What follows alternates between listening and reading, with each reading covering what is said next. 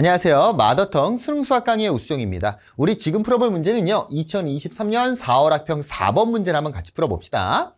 함수 fx가 있어요. 극소값이 2일 때 상수 a의 값을 구하시오 라고 돼 있네요. 어렵지 않죠? 3차 함수의 그래프 개형은 우리가 암기를 다 했어야 되는 거고요. 자, 미분을 때립니다. f'x는 6x제곱 마이너스 6이다. 우린 얘가 얼마 되는 걸 찾아야 되고요.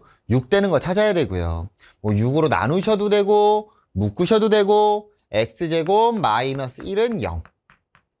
6에 x 플러스 1, x 마이너스 1은 0이 된다. 따라서 미분에서 0 되는 값은 누구고요? x가 마이너스 1이랑 1에서 미분에서 0 되는 거 알 수 있을 거고요.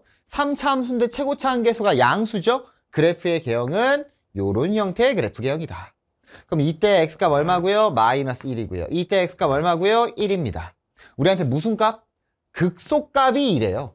그럼 극소는 둘 중에 어딥니까? 아, 요 녀석이 2가 되는 거죠.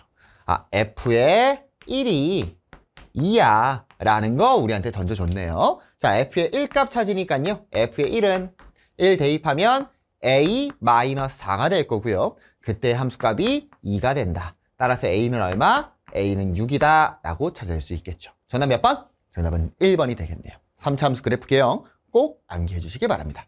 감사합니다.